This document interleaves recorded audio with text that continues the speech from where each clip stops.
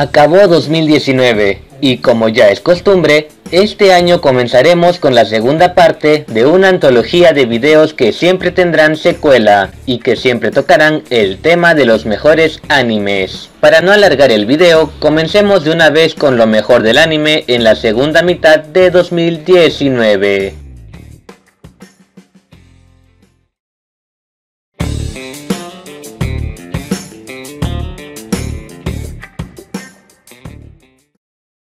Este anime es de lejos uno de esos animes que no resaltan mucho pero al menos son interesantes ya sea por su narrativa o su música. Actor Sound Connection narra la vida cotidiana de estudiantes y profesores de la Academia Amaka, una escuela establecida por el gran grupo de ciudades universitarias Slive Central. Poco a poco conoceremos a nuestros protagonistas, sus motivaciones y su vínculo con la música. Los personajes son lo más realistas posibles a las personas normales de nuestra sociedad, y su historia va lenta pero segura, con ligeros desvíos pero la música y el ambiente lo compensa.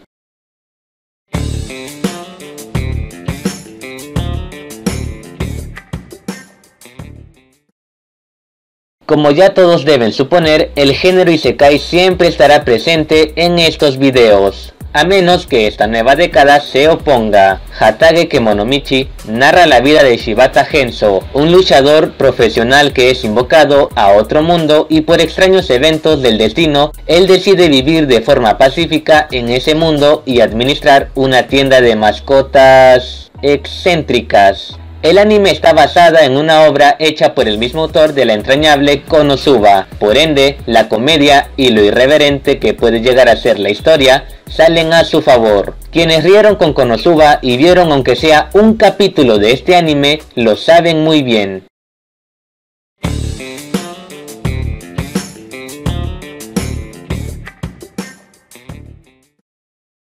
Este anime fue hecho por Kyoto Animation y no podía dejarlo pasar. El Enno Shobutai nos muestra la vida de un grupo de bomberos que se empeñan en apagar incendios provocados por combustión espontánea. En el grupo de bomberos tenemos a Shinra, un nuevo integrante que hará de todo para destacar en el equipo y hacer valer el nombre de los bomberos. El anime tiene historia, personajes entrañables y mucho empeño en la animación, aún después de cierto incidente. Le anunciaron segunda temporada y por ende las expectativas crecen.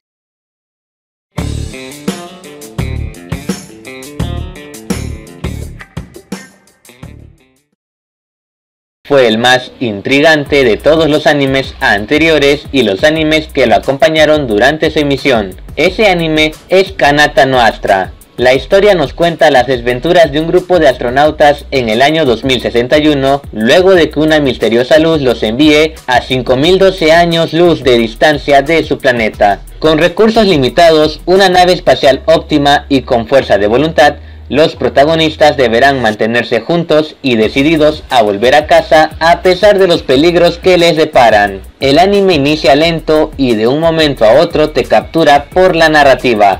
Los personajes son diferentes y hasta cierto punto genéricos, pero cumplen con mantenerte al borde del monitor con el fin de saber el destino que les depara. El valor agregado de la serie es el ambiente espacial y la inquietante musicalización.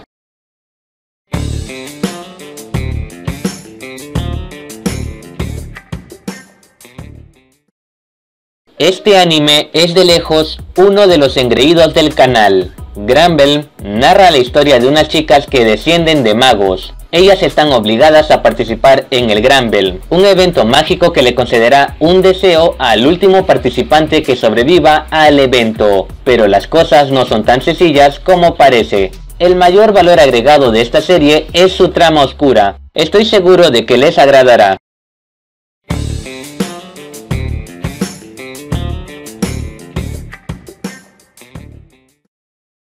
Este anime por alguna razón me hizo sentir amor por la ciencia, y eso que aún no lo termino. Doctor Stone es un shonen que narra la vida de Taiji Oki, quien antes de declararse a la mujer de sus sueños, es convertido en piedra y por alguna extraña fuerza sobrenatural. Cuando emerge de su sueño pétreo, descubre que la humanidad fue afectada en su totalidad por el mismo mal. Para fortuna de Taiyu, su amigo Senki está despierto, y juntos encuentran una cura contra este misterioso mal, y ahora deberán salvar al resto de humanos petrificados. El anime ya con su sinopsis nos incita a verlo, la animación es peculiar y agradable,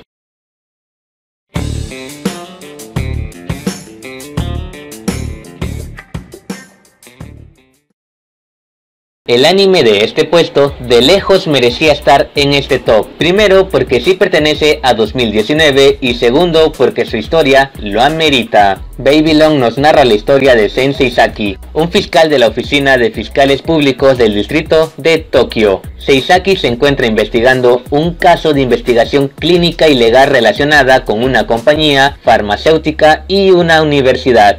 Lo que comenzó como una simple investigación poco a poco se convierte en la búsqueda y destrucción de un complot que involucra a muchas personas influyentes en Japón y algo más que le provocará muchos problemas a Seisaki. El anime empieza lento pero luego del primer capítulo comienza a escalar hasta convertirse en una joya que merece tener una oportunidad más para ser vista. Por motivos más allá de mi comprensión, el anime entró en un angustiante hiatus y actualmente sigue emitiendo sus últimos capítulos. Los ambientes, la narrativa y la musicalización son suficientes para que el anime no sea olvidado.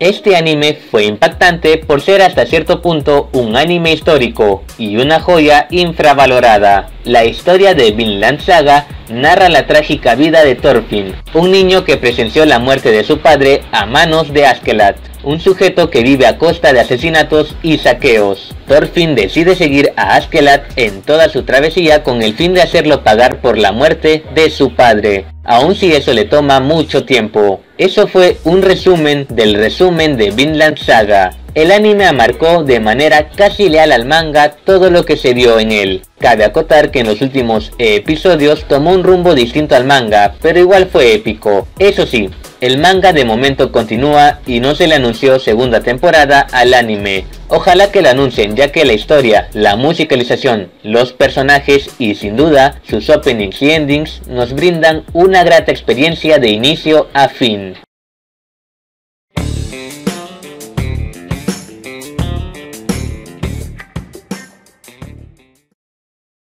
Este Isekai es similar a Tate no Yusha en pequeños aspectos, pero sin duda la actitud del protagonista marca la diferencia. Shinsho Yusha nos cuenta la trágica vida de la diosa Ristarte, quien tiene que salvar un mundo con una dificultad excesivamente complicada. Para ello invoca a Seiya, un chico con estadísticas muy altas pero con una personalidad muy, muy, pero muy cautelosa. Este anime se rige por la narrativa genérica del Isekai pero destaca por su comedia, su protagonista y la sorprendente necesidad de meter sangre y ligeros momentos cruentos que hasta ahora pocos Isekais usaron.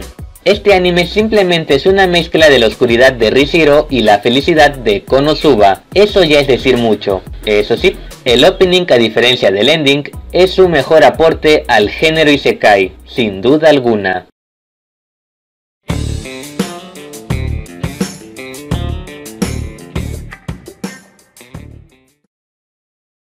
Este puesto le pertenece a un anime original que tuvo doblaje y si no me equivoco aún está en Netflix. Carol Tuesday es un anime original que narra la vida de dos chicas llamadas Carol y Tuesday convenientemente. Ellas deciden hacer música para entretener a la gente debido a que en su mundo las personas solo buscan divertirse con música hecha por inteligencia artificial. Las chicas sufrirán un poco pero estarán dispuestas a ver cómo su carrera musical crece. La historia es atractiva, el doblaje es decente y la música, al igual que Love Song, es fabulosa. La animación es agradable y los ambientes que manejan serán sin duda muy entrañables y hasta cierto punto realistas.